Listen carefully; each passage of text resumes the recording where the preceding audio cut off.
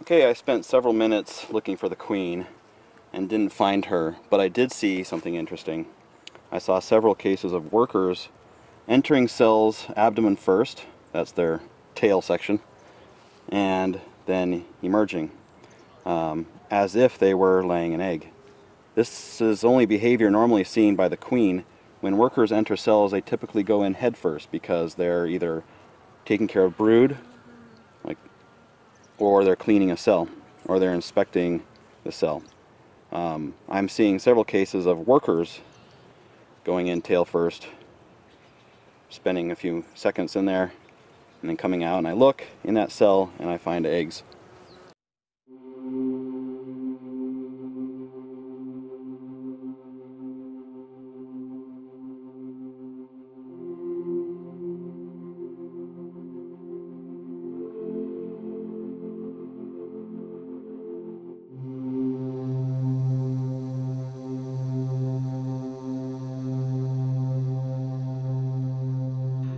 Now I don't see any developing larvae, which means the other workers are probably taking out these eggs, or this is just a new uh, phenomenon that just started and I just caught it in early stages.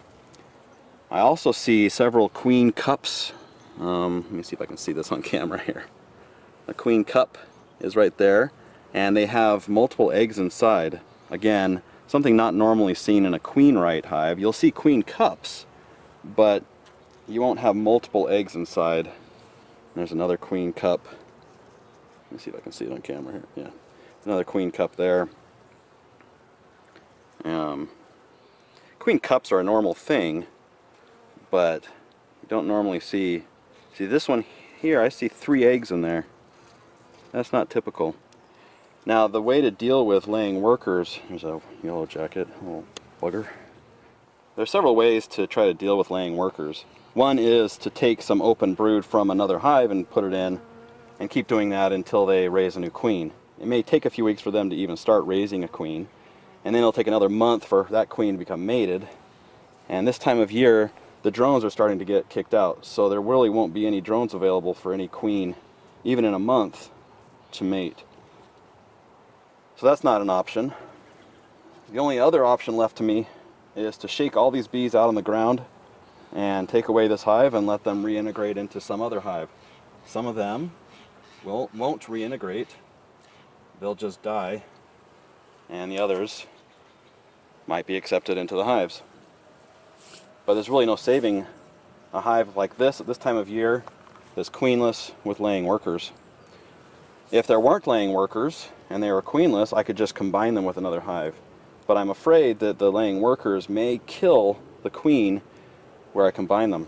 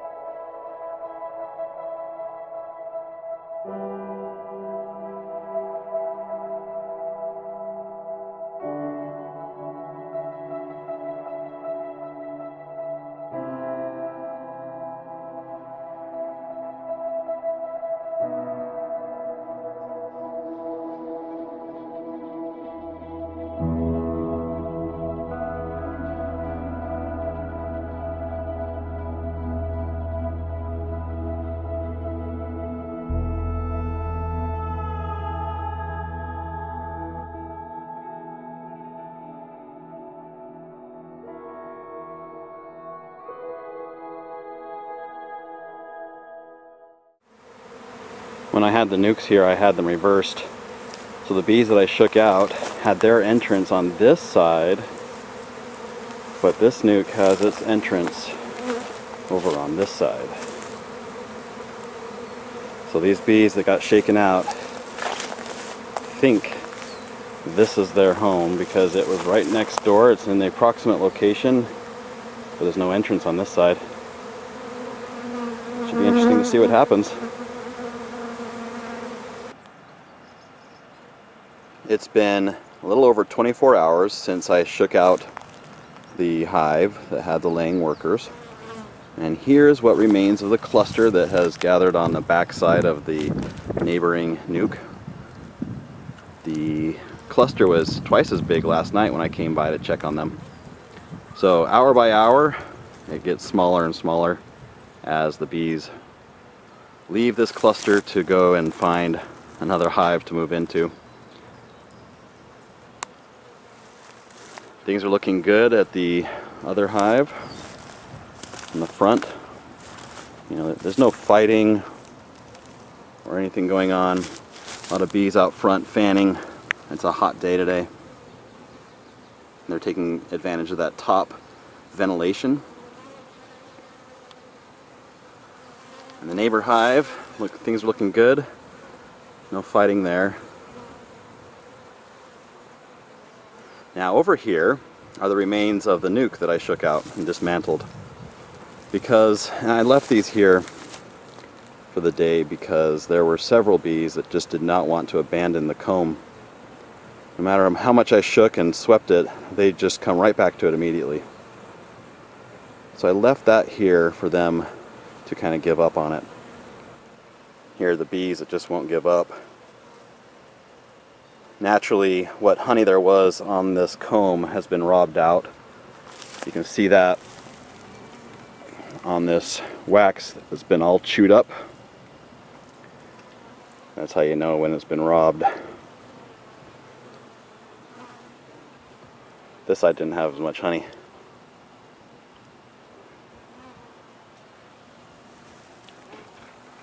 I turned that comb upside down in hopes that they would abandon it more quickly. On the shaded side, on the opposite side that we can't see, there's actually another cluster, but it's very small. It's only it's about the size of what we see there on the on the uh, wood.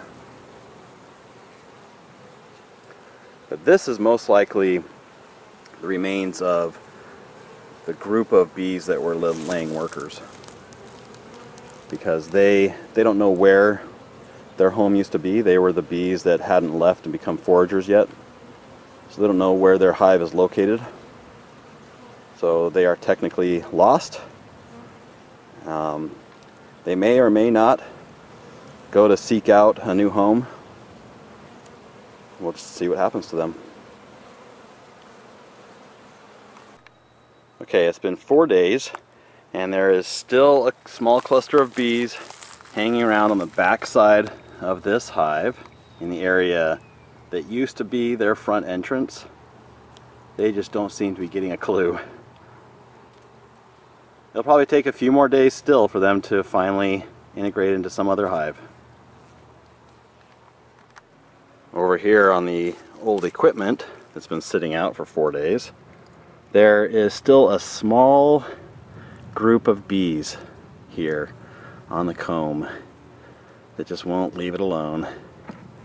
I'm going to have to shake this off so that I can put this away because I don't want to leave this out anymore. The ants are starting to get curious and I don't want the ants leaving any scent trails over this. And this yellow jacket's trying to pick off bees. So that's about what you'd expect to see when you shake out a hive of bees and some of them just don't know where to go. They kind of get hang around and get lost. Eventually, it might take about a week or so, they might integrate into the hives. But that's just one solution for having a problem with laying workers. When I posted the last video where I discovered this problem, I got a really good comment from one of my viewers. David Springay wrote, I'll take a guess that for the laying workers, you just add some wet brood frames to repress the laying worker and then combine them with another hive. This is a brilliant solution and I'm really disappointed that I didn't think of it. I've done a lot of reading on what to do about laying workers, but never experienced the problem until just a few days ago. And when it came time to do something about it, in my mind, I'm thinking about all the things I read, and this was never one of the options, but to me it makes perfect sense. When you can either add more brood for them to raise a new queen, or you can shake them out, or you can try to combine them with another hive. I never thought of kind of combining two of those solutions. I didn't think that once the laying workers are suppressed, you could just combine them with another hive. That's it's brilliant. So I think the next time I have this problem, I'm definitely going to try that suggestion.